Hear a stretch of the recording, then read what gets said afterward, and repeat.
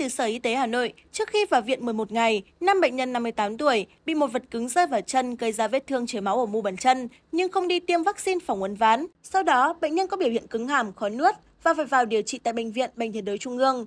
Tại bệnh viện, sau khi thăm khám và làm các xét nghiệm, các bác sĩ chẩn đoán năm bệnh nhân mắc uốn ván. Đây là ca bệnh uốn ván thứ 21 mà Hà Nội ghi nhận từ đầu năm 2023 đến nay. Theo Trung tâm Kiểm soát Bệnh tật thành phố, chiều ngày 17 tháng 9, số ca mắc này tăng gấp 3 lần so với cùng kỳ năm 2022. Hà Nội cũng ghi nhận 2 ca tử vong vì uốn ván, trong đó có một cụ bà ở xã Tân Phú, huyện Quốc Oai.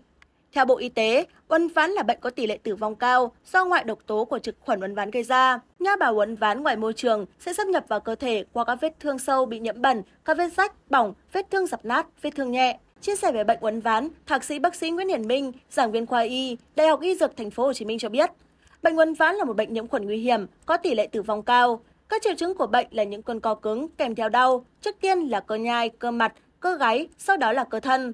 Thời gian ủ bệnh uốn ván từ khi vi khuẩn xâm nhập đến khi có biểu hiện triệu chứng là từ 3 ngày đến 1 tháng, cũng có thể từ một ngày cho tới vài tháng, phụ thuộc vào đặc điểm, độ lớn và vị trí của vết thương hầu hết các trường hợp bệnh đều xuất hiện trong vòng 14 ngày. Thời gian ủ bệnh sau khi mà bạn phơi nhiễm với vi khuẩn uống ván có thể là từ 4 tới 21 ngày. Khi ngoại độc tố của vi khuẩn uống ván sau khi được phóng thích ra sẽ tấn công vào các bản thần kinh cơ vận động gây ra những cơn co cứng cơ. À, và trong khoảng thời gian này á, thì thậm chí giữ những cơn co cứng cơ thì bệnh nhân hoàn toàn bình thường không có những dấu hiệu đặc hiệu gì để chúng ta nhận biết. Tuy nhiên á, thì những cơn co cứng cơ xuất hiện ngày càng nhiều và có thể là co thắt ở vùng khung xương sườn có thể gây gãy xương hoặc là co thắt vùng cơ hô hấp có thể gây suy hô hấp.